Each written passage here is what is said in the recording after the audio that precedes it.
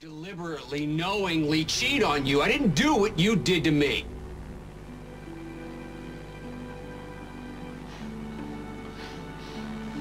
Now I see. Now I see why you don't believe me. You are so guilty.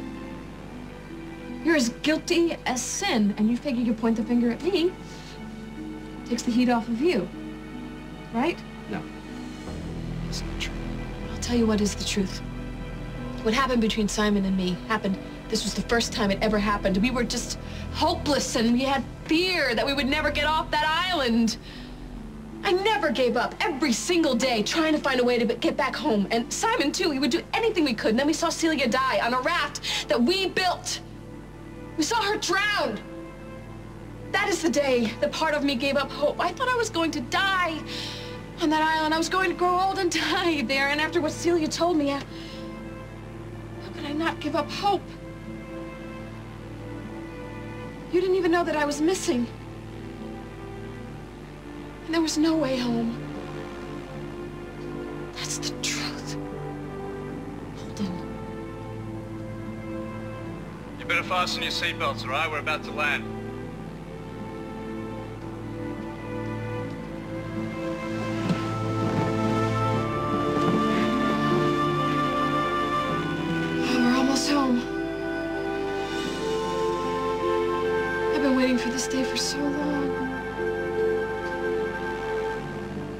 Feel like my heart has been ripped out?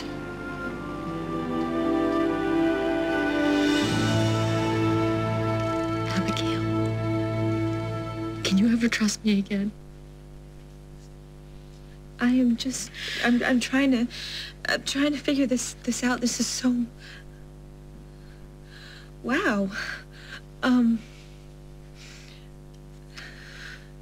you know, in a way, I guess I should be grateful to Katie Grateful for what? for publishing those pictures. It, it brought my love life to a halt. It, I didn't belong with Chris. I didn't come here for him. I came, came here for you. And maybe if none of that had happened, we wouldn't gotten as, as close as we are now. Do you really mean that?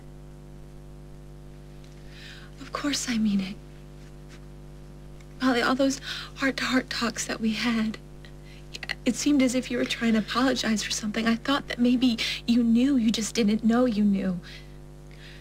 Please just understand, I let that part of the past go.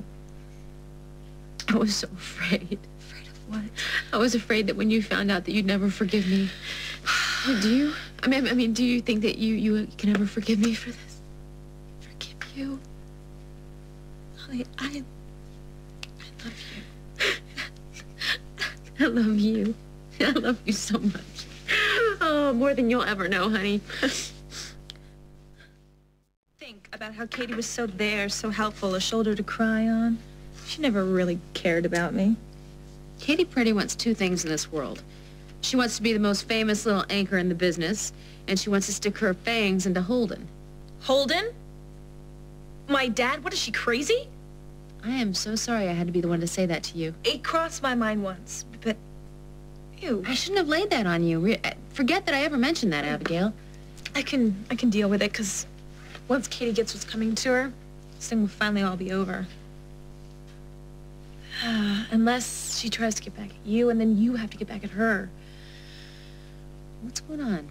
What are you thinking in there? Uh, what if, you know, maybe, maybe we let it end here, you know, forget about it? No, honey, Jake. Jake's been trying to get me to do the same thing.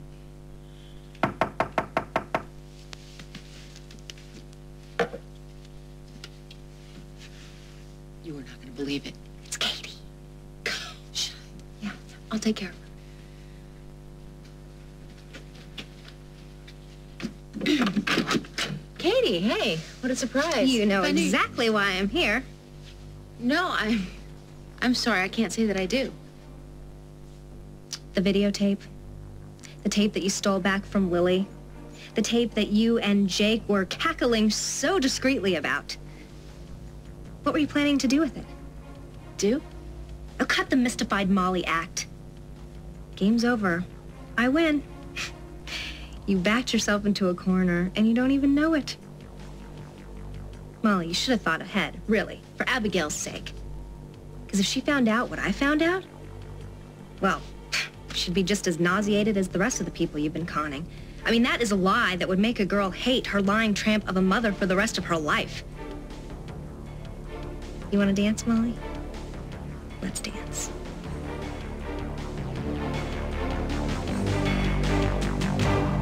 You've been faking since day one. You didn't forget anything. You know exactly what happened before you took the spill down those stairs. I wish. Oh, Dr. Stewart. cut it out, Molly. You showed your hand when you took the videotape back. You know all about Chris Hughes and the pictures that ran in the intruder, which, by the way, Henry handed over to them. Is that so?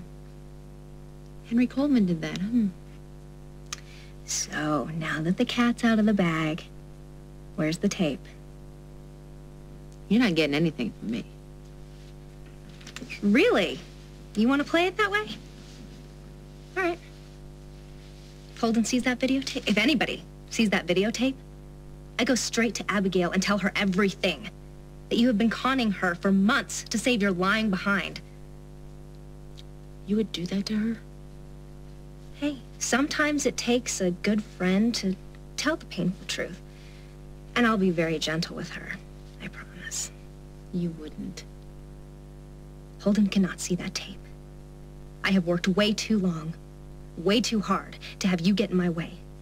So do yourself a favor and get rid of that tape before it falls into the wrong hands. Or Abigail finds out what a low-class reject her mother really is. Okay. You win. I will not play that tape for Holden. I promise you. I'm glad we had this little talk, Molly. And you know, if the amnesia bit really makes you feel like less of a loser, you should stick to it. It works for you. Later.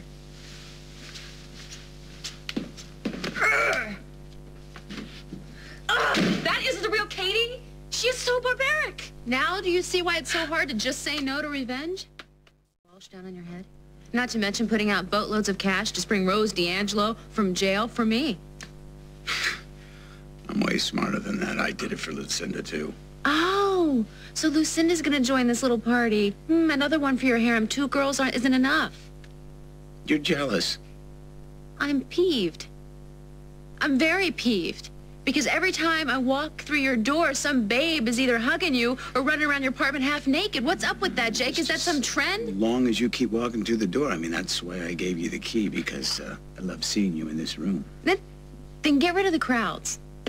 I am working on that. Not until you give me an explanation.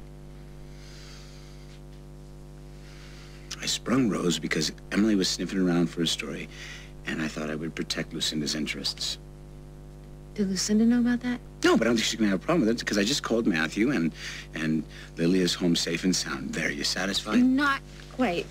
You see, I need to know what Rose's being here is going to do for me.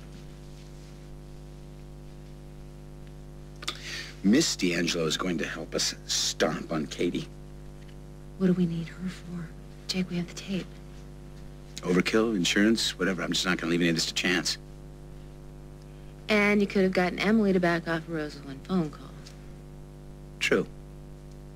So why did you do this for me? The trial with Stenbeck is going to be very, very hard on you. And I just thought you should be solid, steady. Besides, if you're going to take, make one last bad girl showing, it might as well be a good one. Are those lips still available? I figured it was as much his fight as it is ours, don't you? Sure. As long as everything goes as planned, but if it doesn't... Yeah, I can handle whatever. I'm just... I'm just happy to be here with the two of you and have everything be okay between us. Yeah, well, nothing like a good public tar and feathering to bring the folks back together, huh? So where's Jake? Um, he's arranging the finale, actually. Where do we come in? Well, you guys are gonna put the whole plan into motion.